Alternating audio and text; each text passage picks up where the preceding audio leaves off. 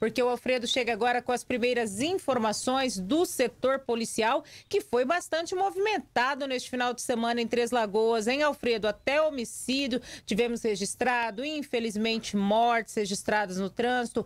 Bom dia para você. Bom dia, Ana Cristina. Bom dia, Antônio Luiz. Bom dia a todos que nos acompanham pelo RCN Notícias. Infelizmente, haja ânimo para conseguir acompanhar as viaturas de SAMU, Polícia Militar, Corpo de Bombeiros nesse final de semana que o bicho pegou, Ana Cristina.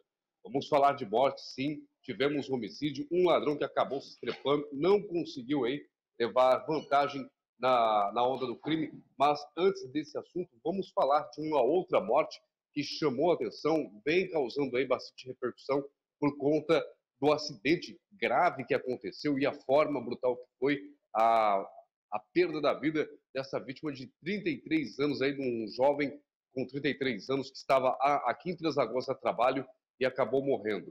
O Edevanilton, Edevanilton de, dos Santos é, Silva, Edevanilton dos Santos Silva, que tinha 33 anos, estava internado em estado gravíssimo no Hospital Auxiliadora, na emergência, esperando uma vaga para poder subir para a UTI, mesmo assim sendo já apontado ali com a morte cerebral, é, dada como certa pelos médicos que cuidavam, mas mesmo assim ele estava mantido sobre aparelhos, respirando com a ajuda de aparelhos, até que a família chegasse do Maranhão e pudesse ser desligados os aparelhos com eles aqui para poder dar tempo deles se despedirem. O Devanilton estava em uma moto Suzuki IS de cor preta, que trafegava na rua Crispim Coimbra, ali no bairro Interlagos, no sentido Lagoa Interlagos, quando a vítima, o Evandenilton, acabou invadindo a preferencial, entrou na frente de um carro e acabou aí ocasionando um acidente.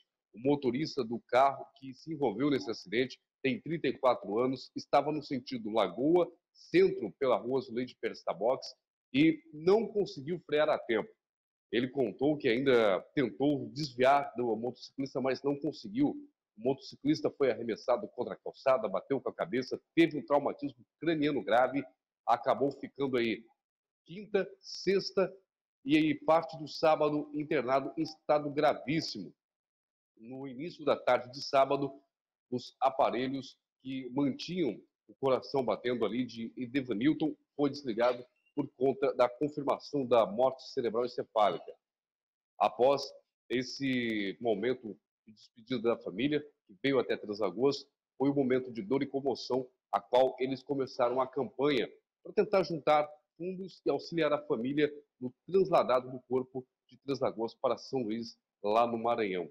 Acidente esse que não é o primeiro em Três Lagoas, infelizmente sabemos que não será o último, porque infelizmente o trânsito vai sendo dinâmico, o trânsito de Três Lagoas vai cada vez avaliando aí, vai crescendo os números fatais de acidentes que poderiam ser evitados com um pouco mais de paciência, um pouco mais de perícia e um pouco mais de calma e educação no trânsito. Felizmente, 33 anos, um jovem ainda acabou perdendo a vida no trânsito de Três Lagoas. Ana.